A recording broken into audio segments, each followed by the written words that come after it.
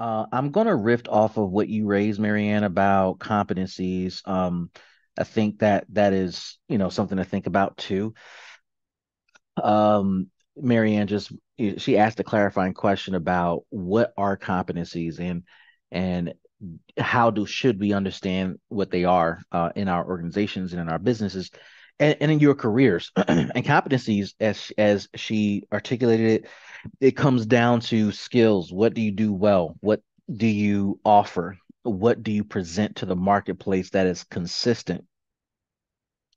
Um and when when developing your competencies it can be very challenging for an organization. It can be challenging for leaders to identify what they do well. I had this conversation last week with some friends. I have this conversation, quite frankly, all the time with friends um, because it's a topic of pain for a lot of people to really do some sort of deep reflection about what they do well and to acknowledge it and to admit it and to accept it. Uh, it is difficult in, in human nature to to declare audibly literally boastfully confidently that i am here in the marketplace to do x and the restraint the discipline it takes to not say anything else is hard because we don't want to not be acknowledged for everything else we're capable of doing right? We typically show up and say i can do x y and z as well as a b and c.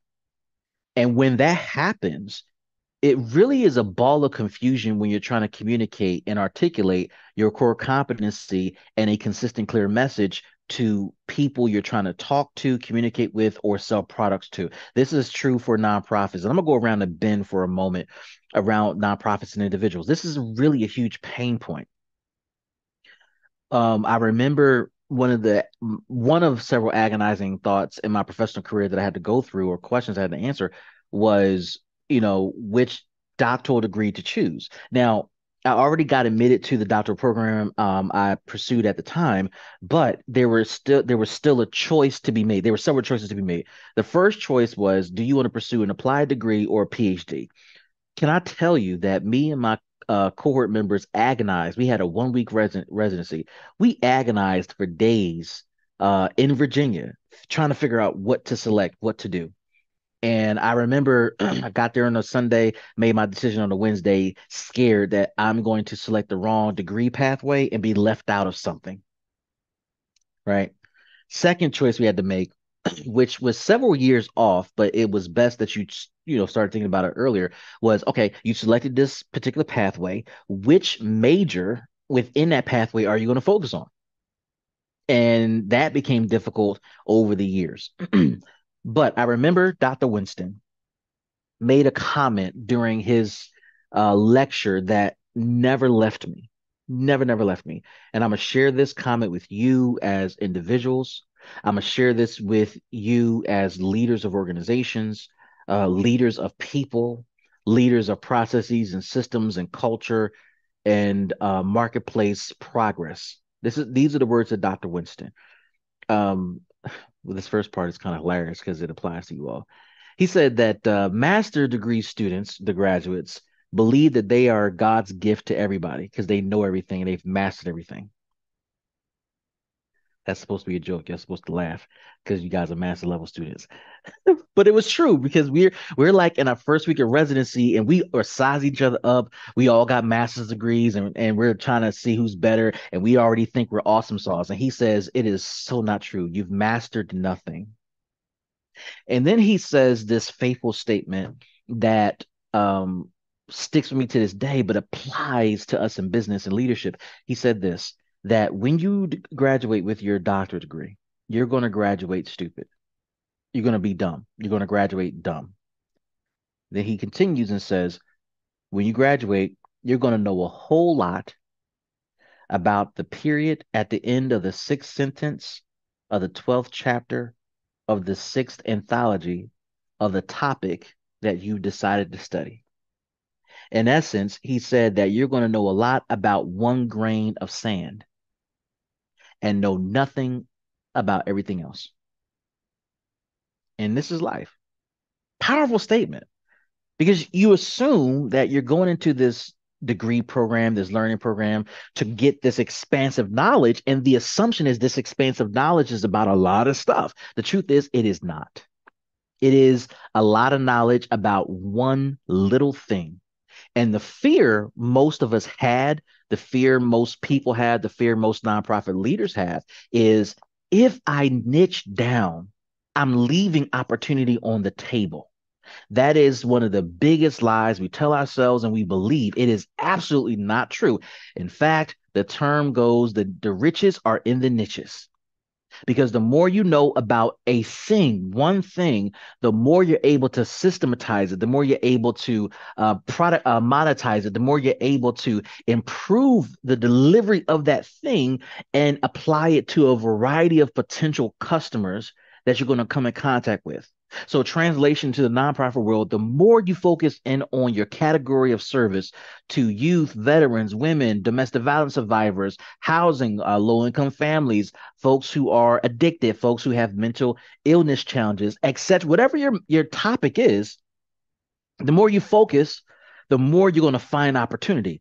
And the focus doesn't stop there. You can't just focus on a single population only. You got to specialize even within that population who you uh, service. So, in some of your other coursework, you're going to hear me talk about this.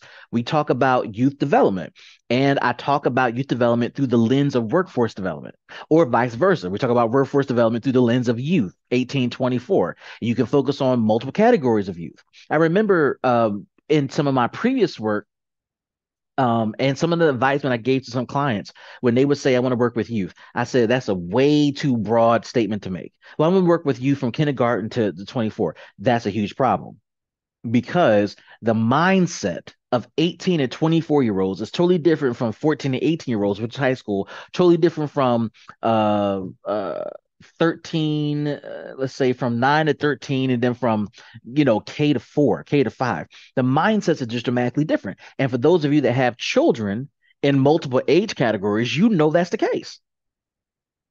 So how can you say as a provider that we're here to serve k to 24 from 6 years old to 24 years old. That implies that you have the resources to have specialists and teams of specialists for each age category as young people grow and mature through their process of thinking. Otherwise, if you do not have that, if you're a new organization, small organization, a medium organization that's small and medium at the same time, um, you don't have the resources to kind of spread thin. It's impossible. So now you're going to have to be much more intentional about your niching down if you're going to do just for the sake of the uh the example I give in BMP 615, if you're going to do, I think let's lead with um uh workforce development, specifically with youth. That term youth is broad. So we're gonna have to be intentional to say 18 to 24 year olds because this is kind of the college certificate earning age of these are folks who now have earning potential to take care of themselves. They become legal in our country. They they can tap into resources and information and benefits of being a full alleged uh, citizen in our country. So that is kind of that early stage professional. That is a different body of work than working with a bunch of high school kids who are still trying to figure out life. That is also different from dealing with 25 to 35 year olds who are likely into their second or third job or career right? It's also different when you're dealing with 35 to 45 year olds who may be in the midlife area, making complete transitions in their career, have kids and families to deal with, student loan debt, etc. And it's totally different from the senior population who's coming to the end of their arc of working. But working just to make some ends meet, not to survive uh, and build a career. It's a totally different mindset. To be even more specific, are you going to do workforce development for youth 18, 24 year olds? And what type of uh, a background will these young people have? Are you going to be dealing with low income individuals, individuals of color, individuals of, of affluence, individuals who come from well performing high schools, individuals who come in from tough inner city backgrounds? Are you going to deal with individuals who are returning citizens, individuals who have a very low reading uh, a reading uh, level, individuals who have some experience in work or no experience in work? Uh, we went through multiple categories here, but young people, where are you niching down to? I'm gonna serve the entire country. Yeah, no. You all are based somewhere in Macon, Georgia. I'm up here in Connecticut. Uh, whoever is going to watch this video later is somewhere else in the country. It is such a different demographic and culture depending on where we live. So you got to niche down. Why am I hitting on this? This goes back to Marianne's question about competencies. What are your skills? Your skills are cultivated by the decisions you make to niche down and to be even more specific. And you will be surprised if you are scared to make that decision. You'll be surprised at the opportunities that will be afforded to you because of your unique knowledge and abilities. Before I go into my reference point here, uh, this does not mean you do not have or you do not cultivate other skills. You do. You absolutely do. You have other skills because of how you've been classically trained academically, your other life experiences, your your career brings new experiences and and and, uh, opportunities for you to uh, kind of explore what you do well. But you got to be clear about the thing that you're putting forward that you're selling to the marketplace. I remember several years back, my consulting company, Eli Patrick and Co. Uh, I decided as I was going through kind of a, a, a focus of what we're going to do, I decided based upon some, I thought some some really clear analysis, the best thing for us to sell and to lead with is we help nonprofits raise money. Now, I, am competent in other areas. I'm really good in other things that I, I can do a bunch of stuff. I can sell a bunch of stuff, but I determined that there were some things working against me age, background, experiences, relationships. I was lacking in those areas, and it didn't give me a fair shot as I thought to compete with others who've been in the business, who've been in the industry for a very long time. But the area where I thought I could compete that didn't that wasn't against me was in the area of fundraising. I was getting good at it. Uh, I was really developing the skills and raising millions of dollars, and I developed my own philosophy of how to do that. And it was consistent. And I was teaching my staff to do it. I figured, okay, well, I can teach this and I can help people raise money. And this is agnostic to some of the other things that are against me. I struggled though.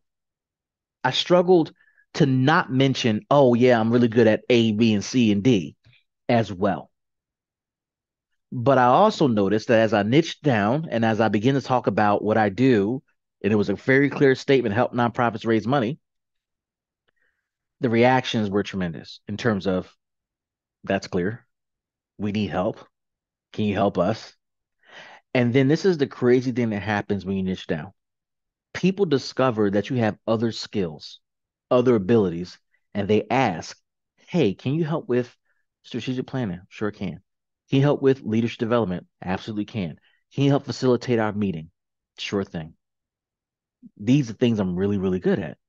Strategy development, really, really good at. Leadership development, really, really good at. Program design, really, really good at it.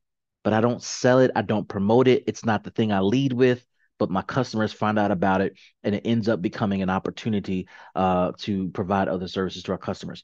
The reason I brought this up, the reason I had this little talk here, is because if you look at uh, slide 11 in your presentation, around uh, uh, coming up with the one idea, coming up with the idea for your nonprofit, uh, your nonprofit uh, social venture, coming up with the idea for the launch of your new nonprofit, coming up with the idea of how you're going to serve nonprofits. Notice there are three circles here that they highlight. Number one, it highlights you got to understand patterns uh, in the business, in the marketplace. What are the patterns in your niche? If you're not niched down enough, you will be wildly ignorant of these patterns. You have probably heard me say this uh, before, but I'm going to say this again. Your funders are so smart. Your funders, the people who are paying the bills, who are writing the checks, who are giving the grants, they are super, super smart. The reason why they're smart, they study patterns within multiple niches and they can tell by the quality or lack thereof of your grant application that you don't understand the patterns of the segment, the marketplace, or the niche. And for some of you, as you're listening to this, uh, whether it's live or in the rebroadcast, you're wondering why am I not getting the funds uh, that we're targeting? why are we not performing well on our grants? It, it, it could be because uh, you're not able to communicate a clear thought, an understanding of the patterns of the marketplace. So, for our example with youth and workforce development, you're not understanding the patterns of workforce development, how it works in your industry, uh, works rather in your region. Uh, youth uh, employment, how that works. Youth education, how that works. Uh, youth uh, engagement in certain communities, how that works. How all this plays out. You got to understand the patterns. So when you start to build a social venture to support the work of your nonprofit, it has to be tied to, in my view, to the patterns you recognize uh, in the marketplace. Number two, you got to have social assets. These are assets that says that we uh, have ties into the community. We have programs in, into the community. We have significant relationships in the community. And that means that we have some sort of foundation to launch this thing and to be successful. So if you're going to launch a, uh, a business that's designed to employ young people, regardless of what it is, right? The social asset is you understand youth behavior, youth workforce, youth engagement, etc.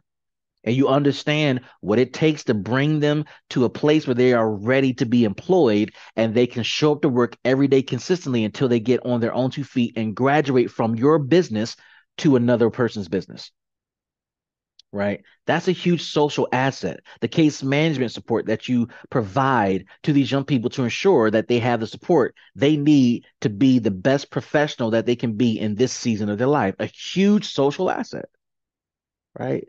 The respect of the community that people know that they can refer young people to your program.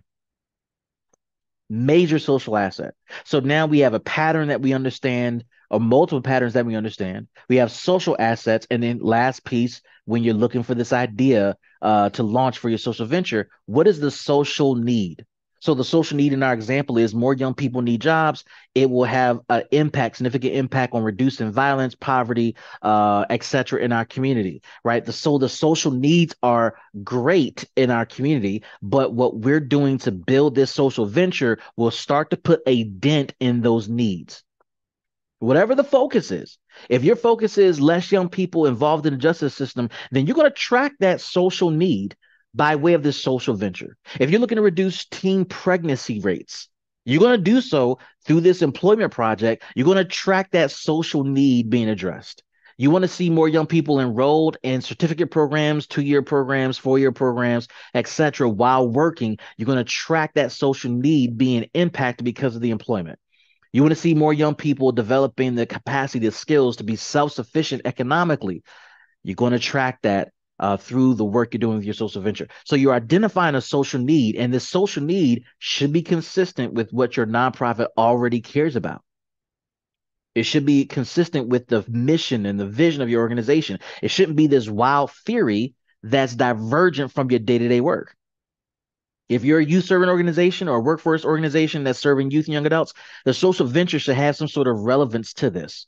This goes back to last week's talk about, you know, how do you monetize your skills, your competencies, your abilities? These competencies and, and skills and abilities are cultivated by just doing the thing you do every day, but you're adding on to it a monetized element to this. All right. So for those of you that are thinking about social ventures, how to sustain your organization by adding or creating a, a social venture, or perhaps you want to just start a social venture that has a very deep connection to a community need and a nonprofit. These are things to consider.